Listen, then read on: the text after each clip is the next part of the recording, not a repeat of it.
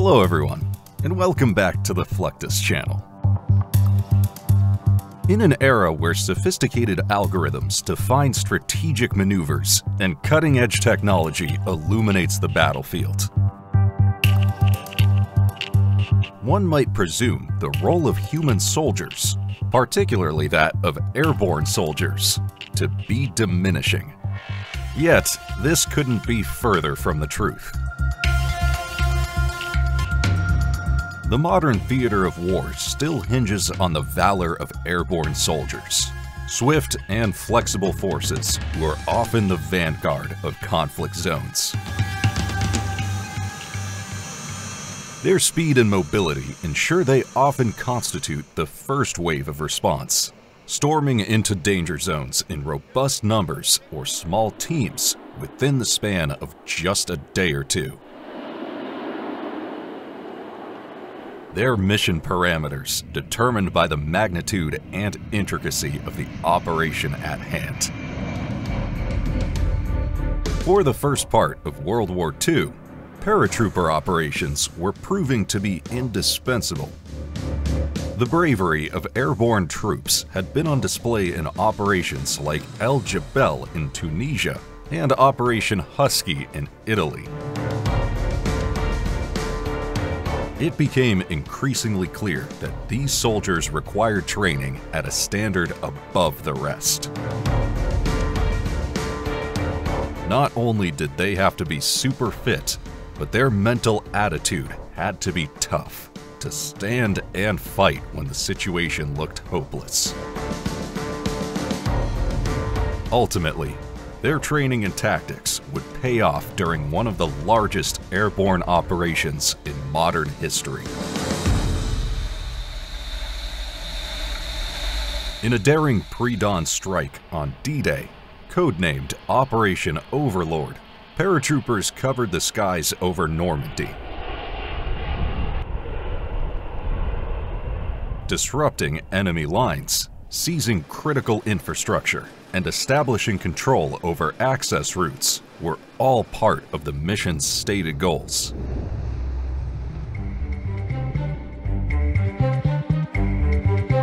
These paratroopers showed unwavering resilience and courage in the face of fierce resistance, unfamiliar terrain, and scattered drops. And their efforts were instrumental in making the amphibious assault a success and marking the beginning of the end of the war in Europe. Airborne operations were born in those days, and their doctrine has not changed much. Airborne operations are divided into marshalling, air movement, landing, and ground combat phases. During the marshalling phase, paratroopers are divided into their chalks and flights, and air and ground crews ensure that the aircraft is ready for the flights.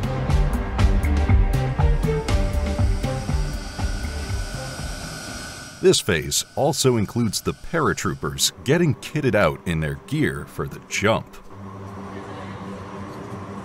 Qualified instructors, riggers, and jump masters personally check the jump gear of every paratrooper. Paratroopers are required to carry from about 100 to 150 pounds, or 45 to 68 kilograms of equipment during jumps. The weight includes their main parachute, reserve parachute, rucksack, and rifle. They carry their rucksack suspended between their legs. Inside the backpack, they carry ammunition, water, rations, and sometimes support weapon ammunition for at least 72 hours. The main parachutes are carried on their abdomens, and their reserves on their backs. Paratroopers enter their jump aircraft according to a PAX list drawn up by the exercise or operational commander beforehand. The list may have to be adjusted shortly before takeoff after the final manifest call. In cases where some jumpers are unable to attend due to sickness or personal injury. For the safety of the jumpers and the aircrew, and to make the process simpler, the jumpers go through pre-jump drills, which start at 10 minutes. At the 10 minute mark, the jumpers stand up and then they hook up their static lines. Static lines and personal equipment are checked by the jumpers and their buddies.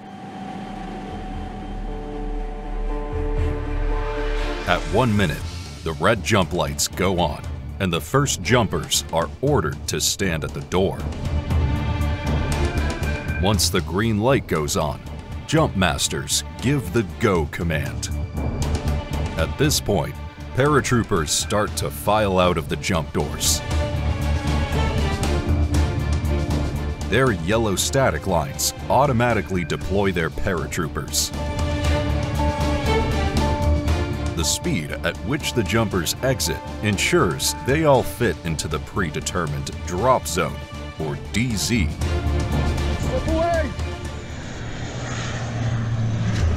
DZ size is determined by the aircraft which is used for the jump. Smaller teams such as Special Forces or Pararescue Persons, or PJs, utilize smaller DZs because they use ram air parachutes, which makes it much easier to reach a small DZ. PJs can be inserted in any manner of ways, with parachuting being only one of them. PJs conduct personnel recovery and combat search and rescue operations, as well as other missions for the U.S. military and its allies. PJs usually get called upon when an aircraft has been downed and they must find and recover the crew. The U.S. military invests many millions of dollars in their pilots. Aircraft are quicker to replace, but not their pilots. Therefore, the PJs are inserted to find and recover them. Upon landing in the DZ, the backpack, also sometimes called the paratrooper's bag, is released to touch down before the jumper to minimize his impact. This bag may also be called the leg bag. Because of its weight, the backpack remains attached to the paratrooper harness via a 15-foot long lowering line. Inside the typical paratrooper bag, the soldier will have items like entrenching tools, additional uniform parts, a sleeping bag, raincoat, additional optical equipment, rations, communications equipment or radio, combat webbing, fire starter kits, survival kits, their ammunition already inserted into magazines, empty magazine pouches, and a host of other bits and pieces. Water and ammunition weigh the most, but are crucial to the operation. During water landings, the paras still must wear flotation devices that can support all their weight U.S. military pilots always face the possibility of ejection. Ejection seat drills from helicopters are a standard part of the U.S. Air Force's outdoor training for new pilots. The purpose of this procedure is to expose them to the actual dynamics of a high-altitude ejection. It also prepares them for actual life parachute malfunctions. When the parachute suspension lines twist, it can cause uncontrollable spins and a faster descent rate, both of which are dangerous. Pilots can prepare for these kinds of challenges and perfect their body control during freefall by practicing in wind towers and with actual jumps. Canopy cutaway and reserve deployment may be necessary if a parachute malfunctions, such as a line over, when the parachute lines cross over the canopy or is damaged, such as with a hole. Trainee pilots are trained on how to execute the paratrooper roll or parachute landing fall, PLF, when hitting the ground. They keep their legs straight and together and roll onto their sides to absorb shock upon landing. In fact, the parachute landing fall is one of the first things all paratroopers are taught. U.S. Army paratroopers are trained at jump school at Fort Benning, Georgia. The men and women who are trained here first must qualify even to attend the training, since physical demands are so high. There are three distinct parts to the training that each last one week. During ground week, trainees practice fundamentals like parachute landing fall, a simulated door exit, and the 34-foot tower. This stage is all about getting fit and feeling confident about yourself. During Tower Week, trainees simulate the sensation of parachuting by practicing on jump towers 250 feet in height. This entails training using a parachute, a harness shed, a swing lander trainer, and a mass exit. The final week of training consists of five parachute jumps from a C-130 or C-17 aircraft, putting into practice the knowledge and skills acquired in the preceding two weeks. Paratroopers who make it through this week successfully earn the right to call themselves airborne, with the wings to prove it. Other methods for getting soldiers or Marines into their areas of operations, or AO, are called helicopter casting or just helocasting. During helocasting, the Marines jump into the water from a slow-moving SH-60 Seahawk helicopter, which is about 10 feet off the surface. The technique gets the Marines quickly into the AO without rousing too much suspicion. Marines enter the water using the correct jump technique. And once they are in the water, they swim to shore or use a Zodiac or combat rubber raiding craft. When swimming, they use flotation devices and flippers. Extraction of the Marines can be accomplished by various means. One such way is called the Special Patrol Insertion Extraction System, or SPIES. A rope is lowered into the water with provision for attachment of harnesses worn by the Marines. The helicopter then gains altitude with the Marines attached to the rope and extracts them to a safe rendezvous.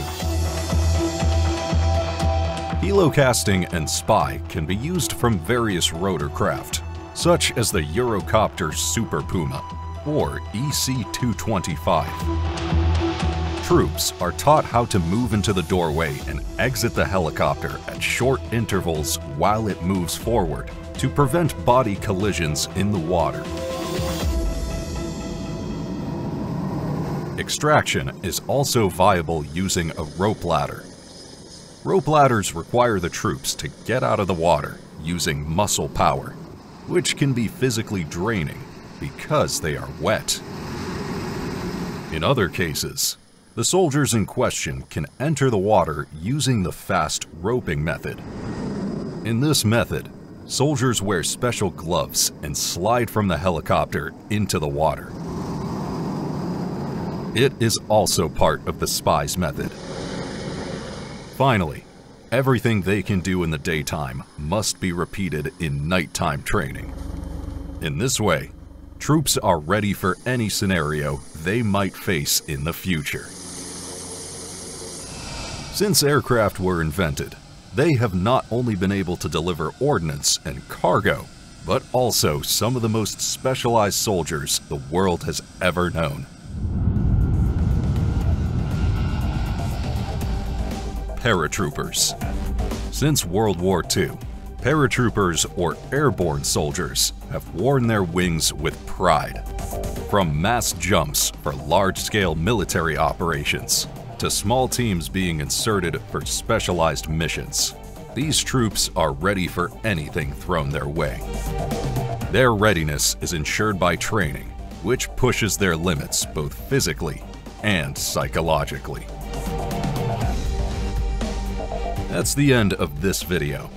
I hope you enjoyed it. Make sure to subscribe to this channel so you don't miss any of our new content. See you next time.